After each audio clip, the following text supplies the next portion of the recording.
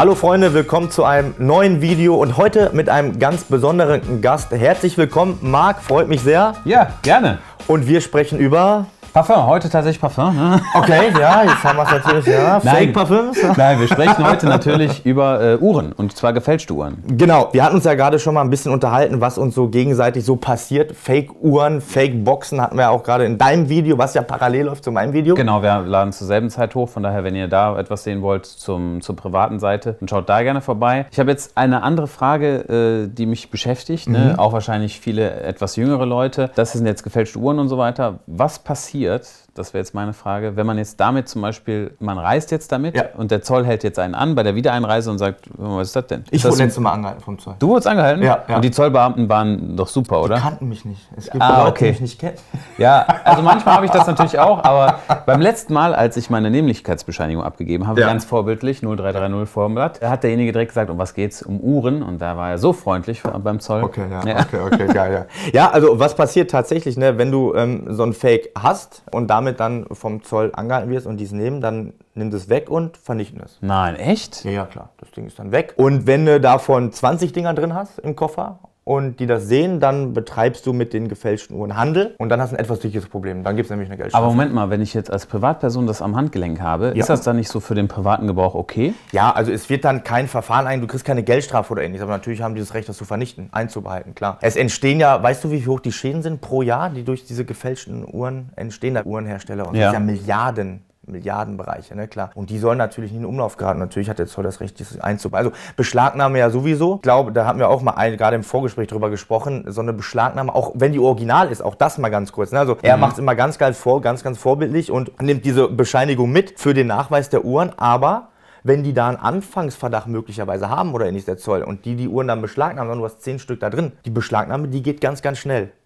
Aber die Herausgabe ist leider sehr, sehr langwierig. Ne? Mhm. Ja, es gibt da diverse Fälle. Also das, das war mir jetzt neu. Und würdest du sagen, jetzt, wenn man, wenn man, sagen wir mal, zehn Stück für seine Freunde und so mitbringt, dann ist ja. schon ein Problem? Ja, ja, dann hast, ja, klar, dann, dann, ist, dann hast du den Anschein des Handels. Ne? Und den wirst du natürlich nur ganz, ganz schwer los. Das ist halt einfach so. Das, das kann man übertragen fast, fast auf jedes, auf jedes Licht. Wenn du wenn du, keine Ahnung, zehnmal was klaust, dann bist du auch in einer Gewährsmäßigkeit drin. Dann sagen sie halt, ja, guck mal, du verschaffst dir damit irgendwie eine Lebensgrundlage, eine Einnahmequelle von nicht geringer Dauer und ja, dann bist du halt tatsächlich im Handel drin. Okay, dann meine andere Frage. Sagen wir mal, jeder kennt das vielleicht, TikTok oder auch bei Instagram gibt es manchmal so Accounts, ne, die ja, ja auch solche gefälschten Uhren, Sneaker und so weiter verkaufen. Auch als die schreiben das auch auf. Ne? Also die schreiben dann, das ist gefälscht. Ja. Mache ich mich damit strafbar, wenn ich das kaufe? Wenn es ähm, tatsächlich deklariert ist als Fälschung und du es dann kaufst, nee, dann machst du nicht. Also der Besitz als solches, der Besitz als solches davon, der Besitz, das jetzt, das jetzt hier liegt, ist keine Straftat. Mm, okay. Ne? Natürlich. Aber der Handel damit, der ist dann eine Straftat. Dann führt es zu Konsequenzen. Und zu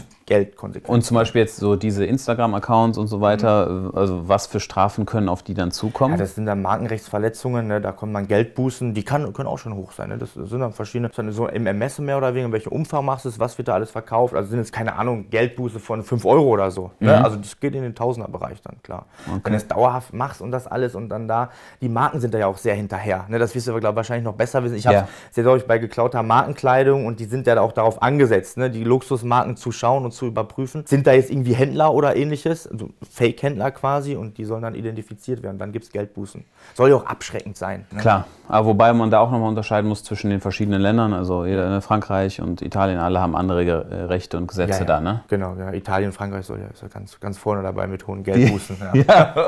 äh, wenn wir jetzt nochmal überschwenken, wäre noch eine andere Frage von mir. Und zwar, ähm, ich habe jetzt äh, eine Uhr gekauft bei mhm. einem Händler. Mhm.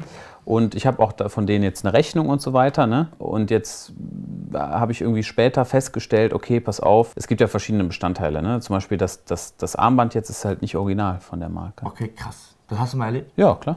Echt? Ja. Okay, das habe ich. Also bei, bei mir war es so, aber ich, ich kannte ja den Händler. Ja. Also es ging im Konkreten um eine Omega Speedmaster, Reduced, mhm. ist keine extrem teure Uhr, aber da hat er mir das zugeschickt und da war das Band, äh, das Metallband war halt nicht von Omega, okay. sondern es war halt dann nachgemacht. Als Privatperson, gibt es da irgendwelche Möglichkeiten, dass man sich da, weil am Ende, guck mal, auf der, auf der Rechnung und so, so wirklich herleiten kann man das ja nicht mehr. Ne? Wenn man unterstellen kann, dass der Händler das natürlich vorsätzlich getan hat, dann ist es von ihm eine Straftat.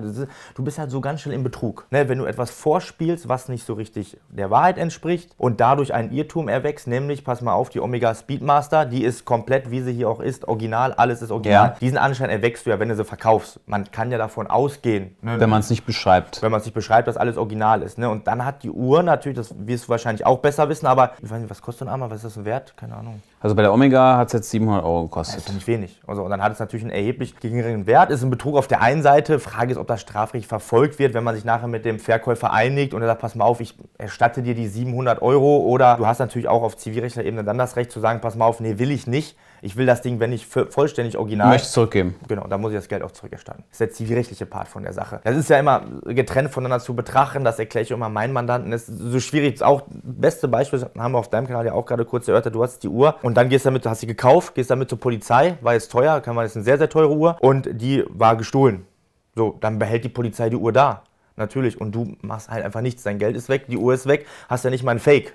Ja. So, die du dann wenigstens tragen könntest oder ähnliches. Ne? Ja. Da verlierst du alles. Aus zivilrechtlicher Sicht könnte man dann sagen oder würde man dann sagen, ja, du hast ja einen Anspruch gegen den Verkäufer, aber den genau. dann greifbar zu machen, das ist ja also Recht haben und Recht bekommen sind halt immer noch auch in einem Rechtsstaat zwei verschiedene Paar Schuhe, weißt du, das ist mhm. das Problem. Ja, also ich kann nur sagen, also aus meiner Sicht halt, ich weiß nicht, wie es bei dir, aber Fake, Fake sollte man generell halt meiden. Ja, ne? ja, natürlich. Also ist ja auch, also ich finde, du, du kaufst ja mit einer originalen Uhr ja auch ein bestimmtes Gefühl so mit. Das kann ich auch mal sagen, ja, und auch allen meinen Zuschauern. Hast du schon mal über deine Uhr gesprochen, so was du so hast? Eigentlich? Nein, nein, nein. Noch nie? Noch nie, noch nie nein, nein, nein. Aber man ist ja schon so ein Meilenstein irgendwie, ne? Ja, ja, Mann, das weißt du ja auch, Mann. Das ist doch, ja. Man ist doch so stolz, ist doch geil, sowas zu tragen. Das ist doch schön. Bei dir wird mir ganz schwindelig, wenn ich das ja, wenn ich das ja alles sehe. Das sind ja Wahnsinn, Wahnsinn, Wahnsinn. Und da möchte ich mal kurz was sagen. Und zwar an alle, die interessiert sind an Uhren. Ja, und das sage ich jetzt nicht nur, das habe ich, glaube ich, schon mal so angedeutet, nicht nur, weil du jetzt nicht mehr sitzt, sondern man sollte es vermeiden, die irgendwie von zwielichtigen Händlern privat zu kaufen. Du hast so viele Risiken, ne? Falschgeld, eine Fälschung, du wirst überfallen, das ist ein Diebstahl. Du hast so das viele Beste, Fallstricke. Weißt du, das Beste, was ich mal erlebt hatte? Das war ein ewiger Kalender. Ich weiß nicht mehr, ob es Odemar oder IWC war.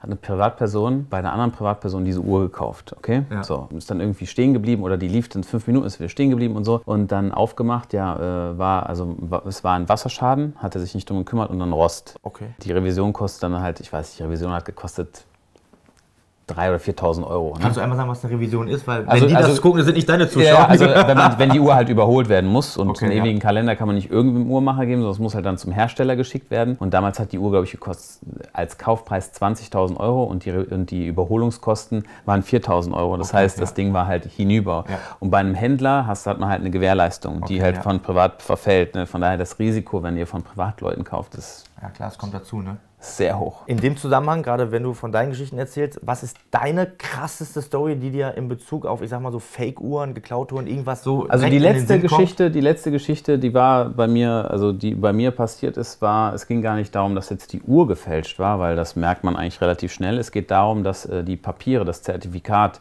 äh, mhm. gefälscht ist. Also wir haben in dem Falle, äh, habe ich auch ein Video gemacht, ging es um eine Audemars PG. Die Uhr hat gekostet im Verkauf 150.000 Euro. Mhm. Wir persönlich, also ich als Unternehmen, wir kaufen keine Uhren ohne Papiere, auch wenn es nur ein Garantiezertifikat ist. Jetzt über 10.000 Euro kaufen wir nicht an. Einfach ja. nur, weil ich finde es selber halt nicht so cool. Dann hat, kam die Uhr und so, ich gucke mir so das Buch an, denke mir so, also die Box sah super komisch aus, wusste ich direkt, mit der Box stimmt was nicht. Aber ich gucke mir so das Buch an und jeder weiß von Audemars PG damals, es, es war so ein, schon ein gutes gedrucktes Buch. Irgendwas hat mit der Farbe nicht gestimmt und ich hatte zufällig noch ein anderes Zertifikat da, habe beides verglichen, habe dann bei Audemars PG in München angerufen, habe nachgefragt, wie sieht es aus, haben mir gesagt, okay, die Uhr, die ich in der Hand halte, wurde eigentlich in Frankfurt ausgeliefert, aber in meinen Papieren stand Japan.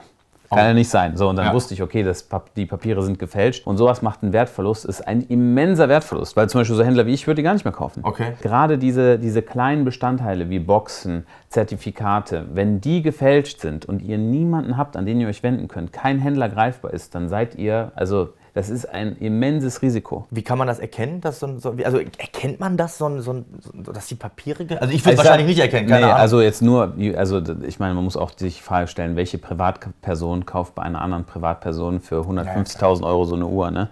Also äh, ja, aber wahrscheinlich am besten. Und ja. da muss man sagen, also Leute, lasst davon die Finger. Das ist ein immenses Risiko, was hier mhm. eingeht. Ne? Ja. Wir alle wollen Geld sparen, wir alle wollen den günstigsten Deal haben, aber gerade bei solchen Dingen, ihr könnt das kopieren, was ihr bei Autos schon kennt. Ne? Auch da vom Privat, wenn man da kauft und vom Hof, das war's. Ja, und dasselbe ist bei Uhren eigentlich auch das Thema. Ja.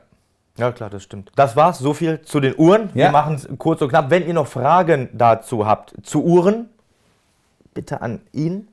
Und bei rechtlichen Fragen, bei Hausdurchsuchungen? Bei ja, Hausdurchsuchungen, ja. das kann sein, ne? Also, also vielleicht an der Stelle, das kommt, da gehen wir noch mal ganz kurz drauf ein. Wenn die da so einen, Anfang, einen Anfangsverdacht, ist ja ausreichend für eine Hausdurchsuchung. So, das heißt, ich, ne, also ich habe es ja gerade auch schon mal erklärt, ich gehe jetzt raus, rufe die Polizei und sage, ey, ich habe hier gerade beim Mark Gebauer gedreht und da lagen tausende Tonnen Drogen rum. Das wäre ein Anfangsverdacht, der würde reichen, rechtlich gesehen, als Hürde zu einer Hausdurchsuchung. Boah. So, klar. Und wenn man dann sagt, pass mal auf hier, ich habe von dem Händler eine Fake Patek Philipp gekauft und äh, habe den dafür 100.000 Euro gegeben oder dann, dann rechtfertigt das dieser Betrug den Anfangsverdacht für eine Hausdurchsuchung. Mhm. Na, und dann sind die halt natürlich auch ganz, ganz schnell da und es ist problemlos. Also ein Richter unterschreibt so einen Beschluss völlig, völlig als Fließbandarbeit quasi und dann steht die Polizei bei dir vor der Tür. Das kann auch umgekehrt sein, ne? auch wenn du dich, wenn, wenn, du, wenn man irgendwie das Gefühl hat, man ist plötzlich vielleicht nicht direkt beschuldigt, aber man ist betroffen. Die Beweismittel sind bei jemandem ah, zu Hause. Okay. Eine Reihe von Fake-Uhren aus irgendeinem großen Fake-Verkaufsring oder so. Ja. Auch dann kann durchsucht werden. Klopfen an, muss dann nicht vielleicht mit Tür aufsprengen, SEK sein, aber wenn da dann drei Beamte stehen und die Nachbarn das dann sehen, fünf Nachbarn sind dann noch in Deutschland ja immer, immer noch am Fenster, das sorgt dann schon mal für Diskussionen. Ne? Also auch diesen Anschein sollte man versuchen zu vermeiden. Deswegen Fakes sind, sind blöd. Sind blöd. Ja, sollte man sich fernhalten. Deswegen, vielen, vielen Dank fürs Zuschauen. Ich habe es gerade gesagt, rechtliche Fragen hier, Uhren mäßige Fragen dahin. Ich bedanke mich, wenn ihr noch Fragen habt, natürlich hier in die Kommentare, Instagram, Instagram, E-Mail, was auch immer. Vielen Dank fürs Zuschauen. Bis bald.